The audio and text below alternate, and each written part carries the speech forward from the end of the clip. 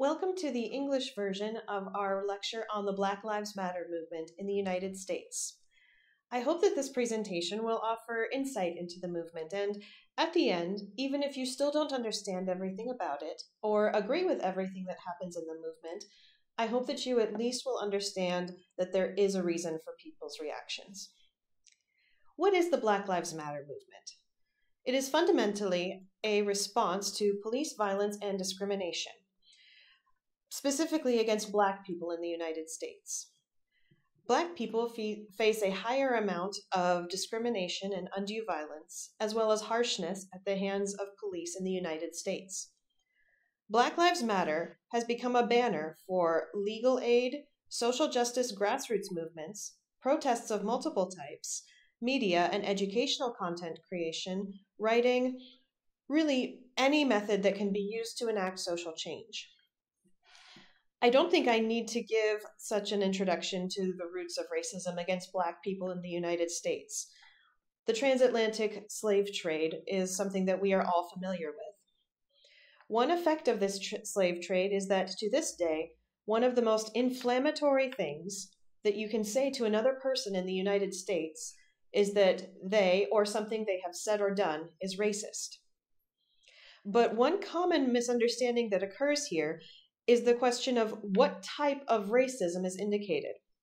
Spoiler alert, it is not all about whether or not you would call someone a the N word. Racism has two aspects. First, it is the belief that people are different on the basis of their race. And second, it is the oppression and differences in experience faced by people on the basis of their race. As you will see, what an individual person believes about race in other words, whether or not a certain person is a racist, has very little to do with racial oppression in society. Intrapersonal racism is one person's beliefs about themselves in terms of race, how we view ourselves because of our race. And everybody experiences that, whether you are white or Asian or black or Roma or any other race. This is an internal form of racism. Interpersonal racism is beliefs about race that impact how people interact with each other, within and across differences. So, how people within one race react to people of the same race, how they view and interact with people of other races. Institutional racism is policies and procedures that perpetuate oppression and discrimination within an organization or se- sector, for example, the justice system. Structural racism is policies and norms that continue or perpetuate discrimination and oppression across sectors and across history. People may say, I'm not racist, I have black friends. People may say, but black people call each other these names and make jokes about black people. Why can't I, even though I'm white? All people are equal, aren't they? I have heard, yeah, I listen to Nas and other rappers with my car windows rolled down, and I hang out with my black sports teammates, so I'm basically black. The man who said this to me is named Milos, and he has Nordic runes tattooed by hand all over his body. He has a red beard, and when his head is not shaved, his hair is blonde. In other words, I am more black than Milos is. None of these people mean anything bad by what they're saying, of course not. Well, at least I assume not. But their individual status as not racist doesn't have much of an impact on the real struggles that Black people face. And for that, let's turn to the events of Black, the Black Lives Matter movement. I have here a list of the most important events. I need to clarify black people are killed in much higher proportion than white people at the hands of police. The stories I'm going to be telling you today are just particular myths that sparked particular outrage in the United States. This is not a complete list of everyone who has been killed at the hands of police, but these are the events that have caused the most protest. I'll start with Trayvon Martin. Trayvon Benjamin Martin was a 17 year old African American from Miami Gardens, Florida. He was fatally shot by George Zimmerman, a 28 year old Hispanic American. Trayvon had accompanied his father to visit his father's fiancee in a nearby Florida town. On the evening of February 26, Trayvon was walking back to his dad's fiancee's house from a nearby convenience store.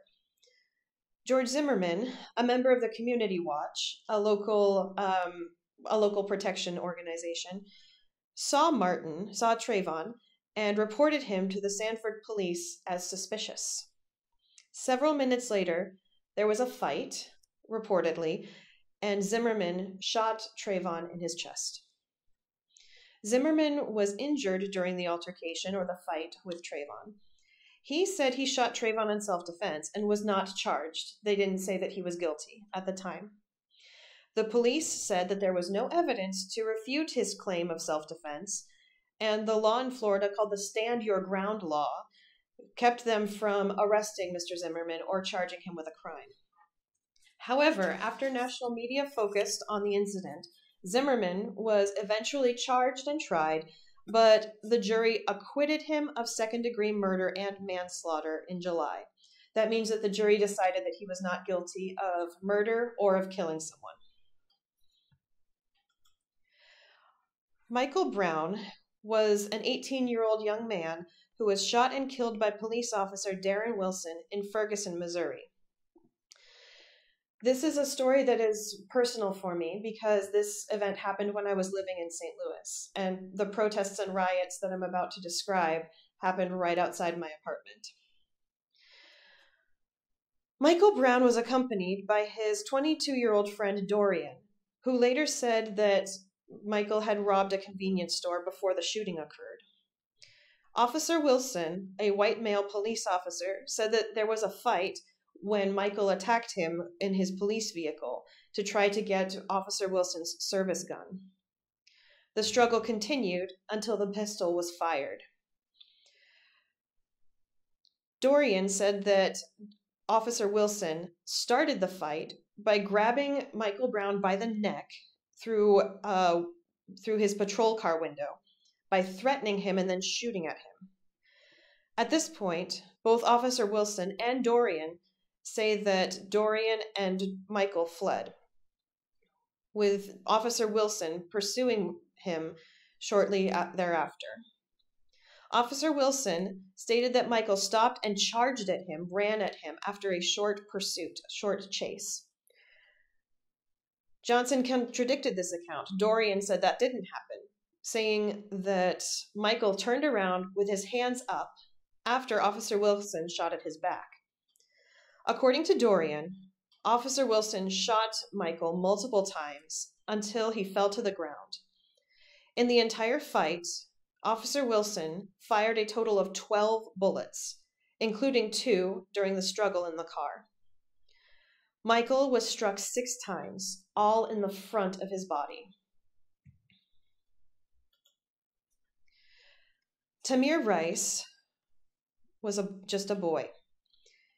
He was carrying a toy gun, and Officer Loehmann shot him almost immediately upon arriving at the scene.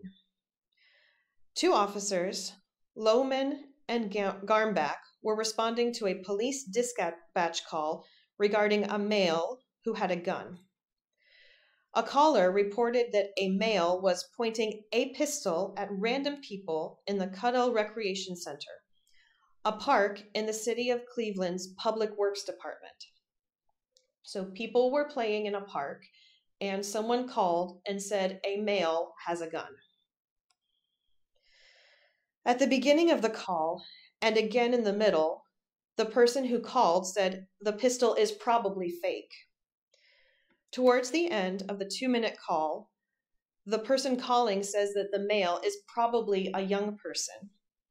But the dispatcher did not say that when he called the police officers Lowerman and Garmback. The police officers reported that when they arrived at the scene, they both continuously yelled, Show me your hands! through the open patrol car window. Loehmann further said that instead of showing his hands, it looked like Rice, Tamir Rice, was trying to draw his gun.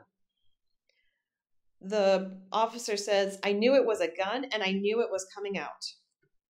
The officer shot twice, hitting Tamir once in the torso. According to the judge who heard the case, on the video, the zone car containing patrol officers Loehmann and Garmback is still in the process of stopping when Rice is shot. Tamir Rice died the following day. Philando Castile. A St. Anthony police officer patrolling Larpenteur Avenue radioed to a nearby squad that he planned to pull over the car and check the IDs of the driver and passenger, saying, The two occupants just look like people that were involved in a robbery. The driver looks more like one of our suspects, just because of the wide set nose. I couldn't get a good look at the passenger. The officer at 9 p.m. told a nearby officer that he would wait for him to make the stop.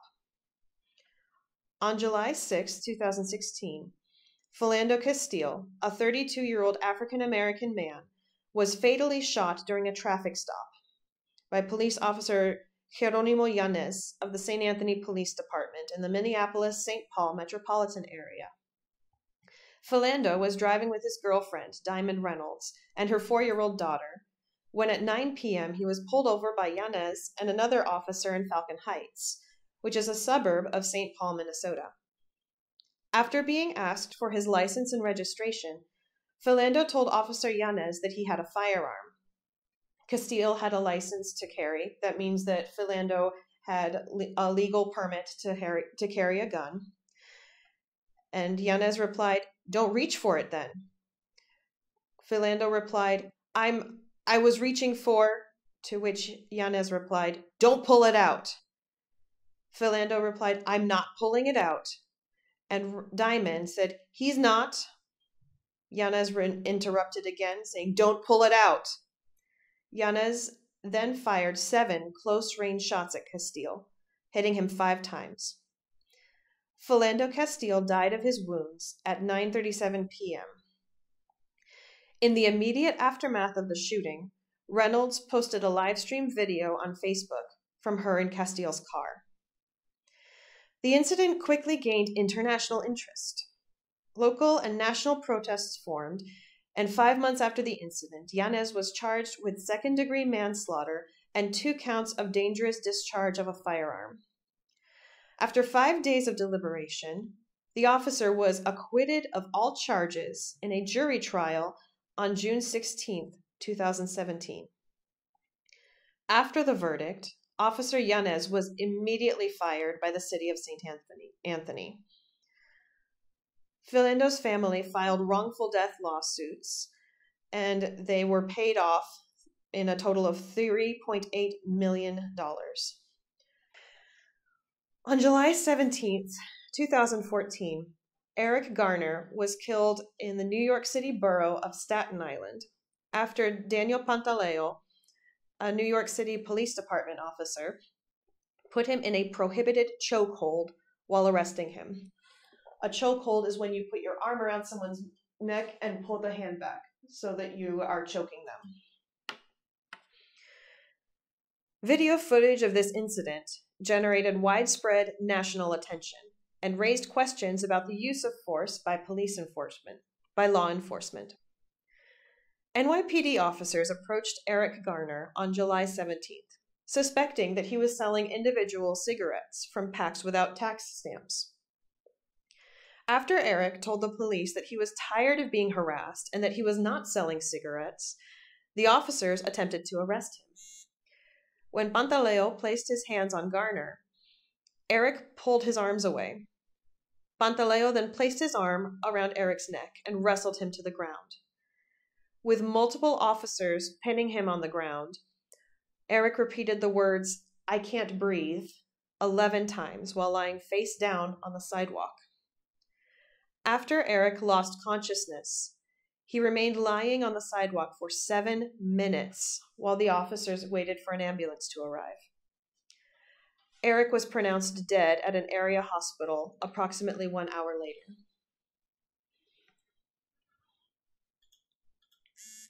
Breonna Taylor. Breonna was a 26 year old African American woman. She was fatally shot in her Louisville, Kentucky apartment on March 13, 2020, when at least seven police officers forced their way into her apartment as part of an investigation into drug dealing operations. Three Louisville Metro Police Department officers were involved in this shooting. Breonna's boyfriend, mm-hmm. Kenneth Walker, was in the apartment.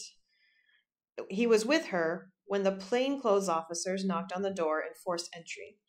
Plainclothes officers means that they were not wearing police uniforms, they were dressed like regular people. Forced entry means that they knocked the door down to come in. The officers said that they announced themselves as police before they forced their way inside, but Walker, Kenneth, said he did not hear any announcement. He thought the officers were intruders and fired a warning shot at them. The shot hit one of the officers in the leg, and the rest of the officers who had forced their way into Breonna's house fired 32 bullets in return. Kenneth was unhurt, but Brianna, who was behind Kenneth, was hit by six bullets and died. During the incident, one of the officers moved to the side of the apartment and shot 10 bullets through a covered window and glass door. According to the police, Breonna's house was never searched. Kenneth Walker was charged with assault and attempted murder of a police officer, but the charges were dismissed or said that they didn't count anymore 12 months later. In June of that year, the Louisville Police Department fired Officer Hankinson for blindly firing through the covered patio door and window of Taylor's apartment. On September 15th, the city of Louisville agreed to pay Breonna's family $12 million and reform police practices. But she's still dead. In the 49ers' third preseason game in 2016, Kaepernick sat down during the playing of the U.S. national anthem prior to the game. That means he did not stand or put his hand over his heart when our national anthem was played. He did it as a protest against race, racial injustice, police brutality, and oppression in the country. The following week, and throughout the regular season, Kaepernick knelt during the anthem. That means he put he got down on one knee when the anthem was played. These protests of his received very polarized reactions. That means that the reactions were very dramatic in both extremes, strongly supporting him and strongly opposing him.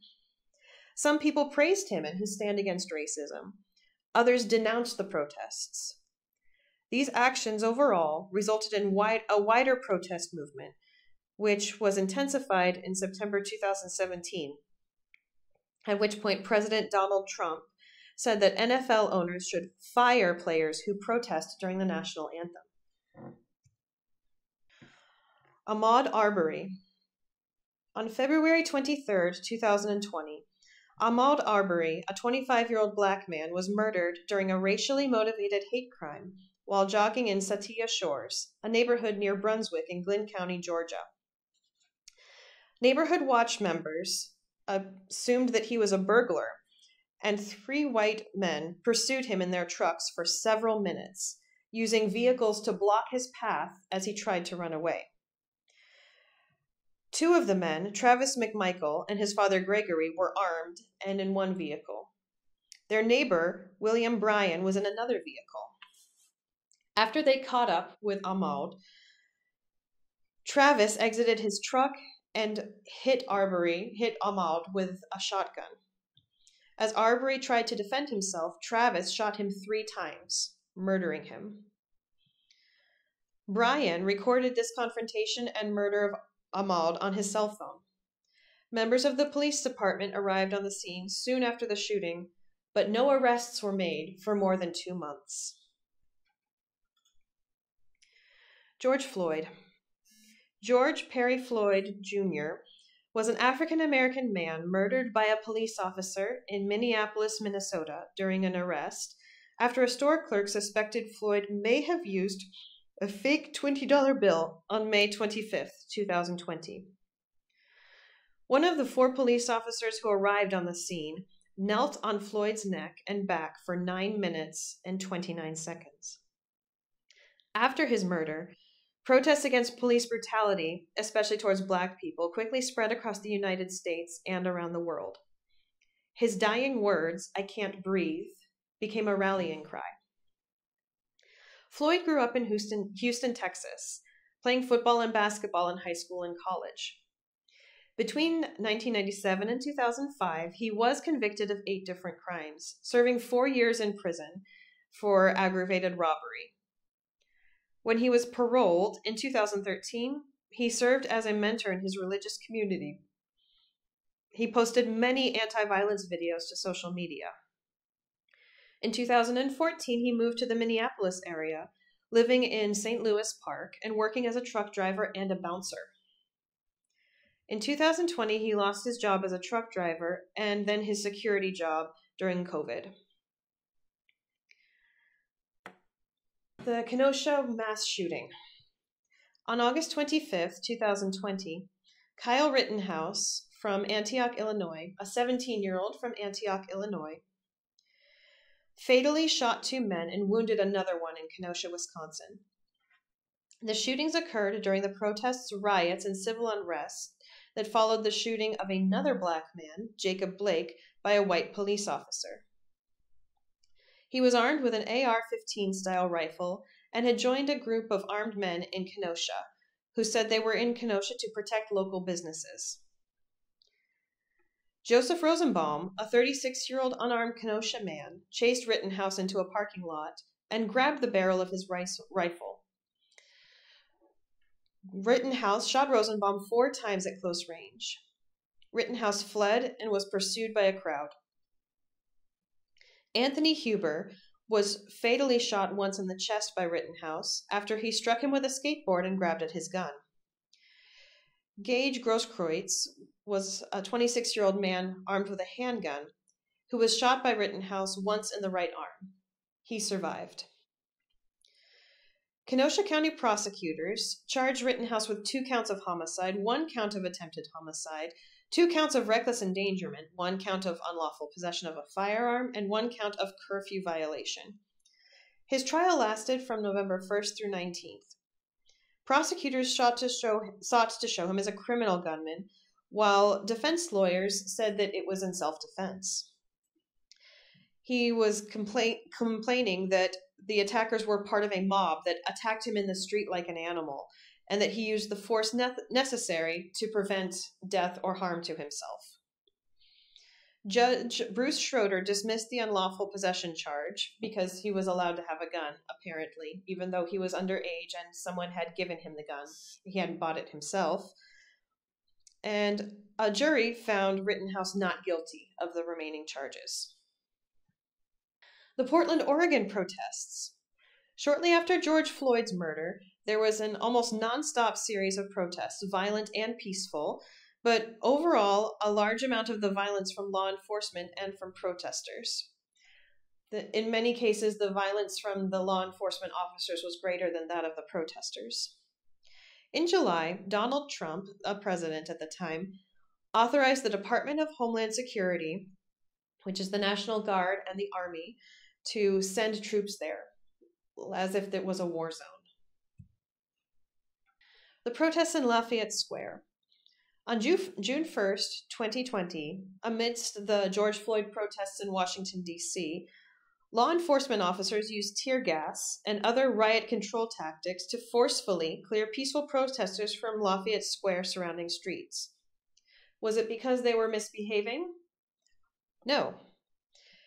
President Donald Trump and other senior administration officials wanted to walk from the White House to the St. John's Episcopal Church there, Trump held up a Bible and posed for a photo in front of the Ashburton House, which is the church's parish house.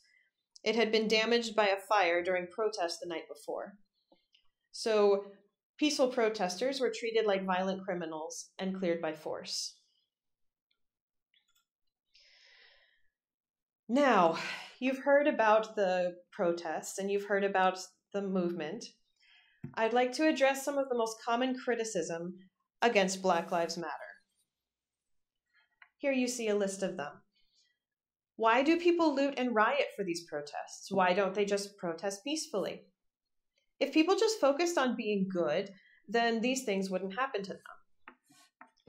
The police officers are just doing their jobs. If someone is a criminal, they need to face the law. It doesn't matter what race the person is. Why do these people run or fight back when police confront them? Doesn't that make them look guilty? These people ought to trust the legal system, that it will take care of things. Blue lives matter, all lives matter. Why are we saying that Black Lives Matter? Why don't we have these other movements for other races? Let's take these con- common criticisms one by one. Why the looting and rioting? Why don't people just protest uh, in peace? The short version of the answer is that they have, and they do, and they have been doing this, and that has not yet resolved the problem. I have here many statistics and graphs that show how Black people are still greater, they sp- still face a greater risk of violence at the hands of police officers. I'll show you later another slide showing how much peaceful protesting has happened and how even though decades and decades have gone by since the civil rights movement, there still is not a resolution. I'm not saying that looting and rioting is okay, but if for decades peaceful protests have not done anything, it's reasonable to understand that humans might be feeling a bit desperate. Imagine the Czech Republic had the Velvet Revolution not occurred. Without student protests and without the Velvet Revolution, would communism have ended when it did?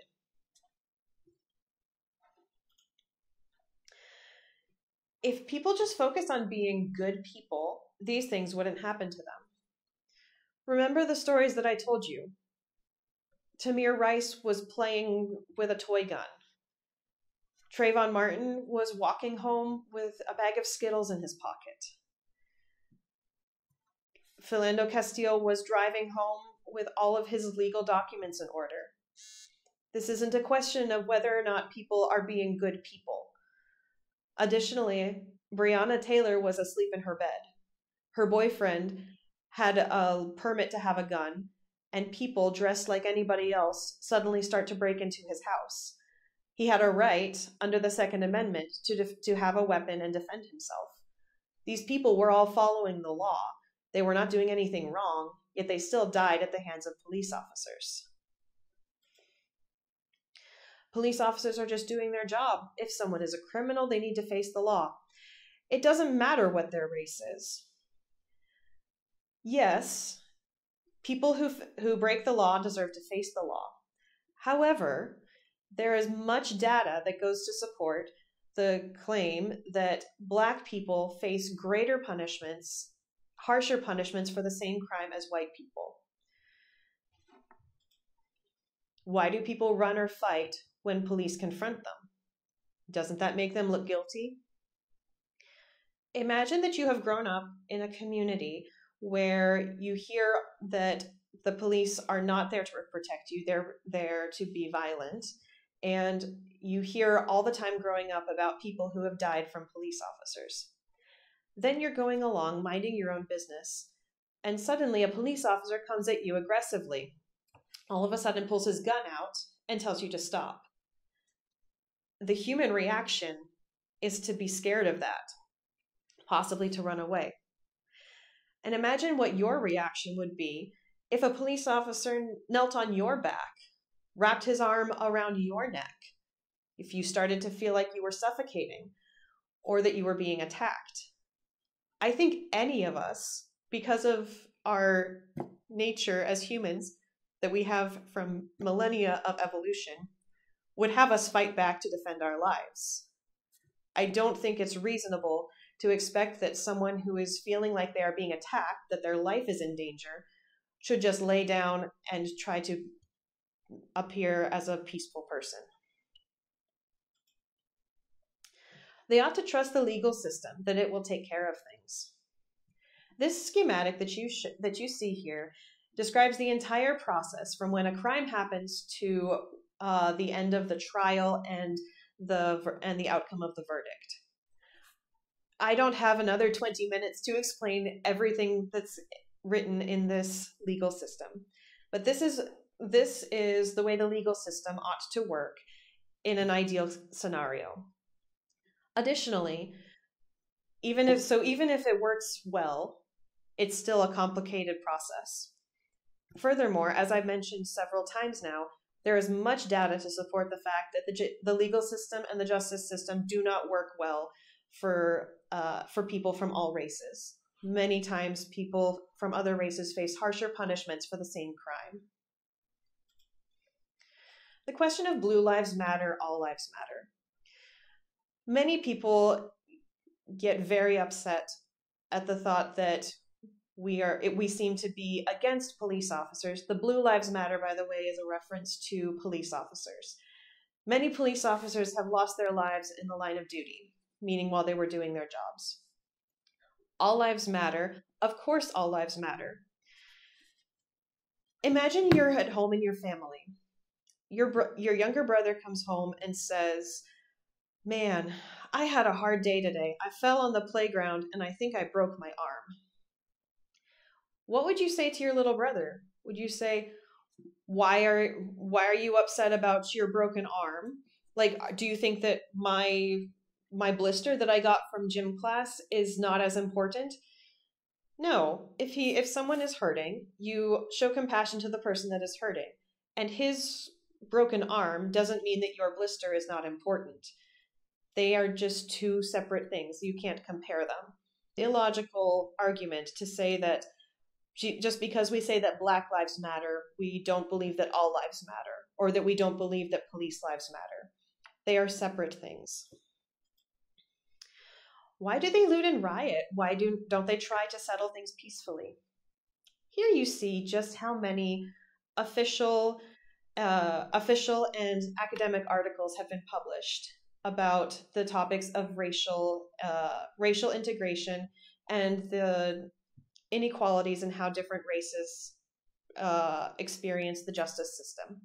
These are just academic articles. This is not to mention all of the novels, all of the dissertations, all of the books, all of the media content that shows how people have tried to bring awareness about this issue and bring resolution about this issue in a peaceful way.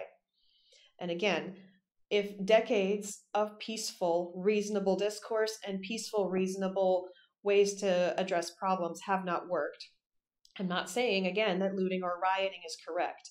I'm saying that it's understandable to think if being peaceful didn't work, what else can, what else can we do? In closing, I would like to show a little bit of how I believe, as an American living in the Czech Republic, Americans and Czechs face problems differently. And to be honest, uh, this is just my this is just my perception of it, but it may be able to shed some light on how Americans deal with problems differently than Czech people. Americans believe that the first step to solving a problem is to acknowledge it. This is why activities that raise awareness or protests just to raise awareness about an issue are seen as very meaningful. On the other hand, Czech people tend to believe that the first step to resolving a problem is to accept that everything sucks and to kind of we would you would say in Czech smířit se s tím nebo srovnat se s tím. So basically working it out in your own heart to say that things are always going to suck and even if we raise awareness to issues, we probably can't make it stop sucking.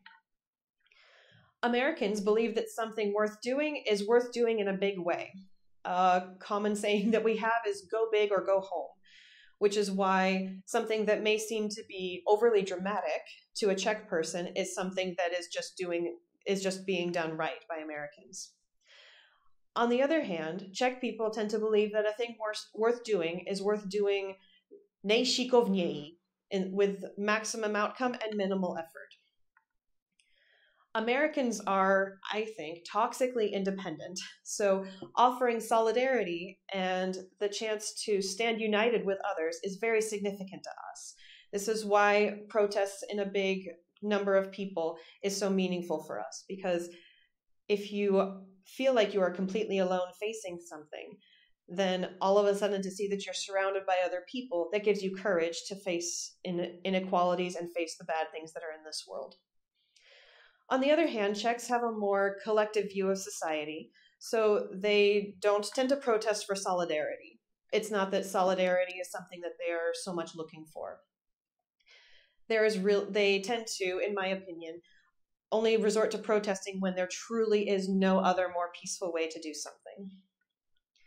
We also say in America that the squeaky wheel gets the grease, and whoever yells the loudest will get listened to first. So we're loud. On the other hand, I believe that Czech people would say that you can complain and whine all you want, probably nothing will change. I don't really think that one of these approaches is more right than the other. I don't think that either of these approaches is more wrong than the other. They're simply two cultures that exist side by side, and obviously the beliefs that one culture has will affect how they see the other one.